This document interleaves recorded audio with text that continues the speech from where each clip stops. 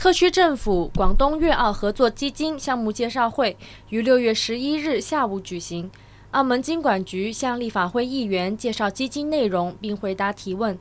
广东粤澳合作基金于上月由粤澳双方代表正式签署基金合伙协议，目前已完成注册手续，即将正式运作。主要投资有利于粤港澳大湾区建设及有益两地经济民生的优质项目。该基金采用合格境外有限合伙人形式，澳方为有限合伙人，出资两百亿人民币，首阶段将投入二十亿人民币；而粤方为普通合伙人，出资一千万人民币，并负责基金的运作和管理。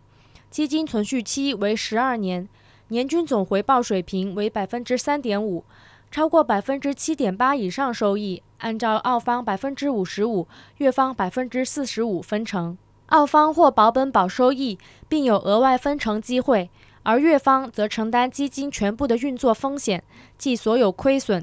此外，由于澳方以人民币出资存在一定的汇率风险，但可利用人民币汇率对冲工具进行调控，总体而言风险相对可控。粤澳合作基金将有利于澳门融入国家发展大局，推动粤澳金融创新合作，为两地带来极大的民生效益。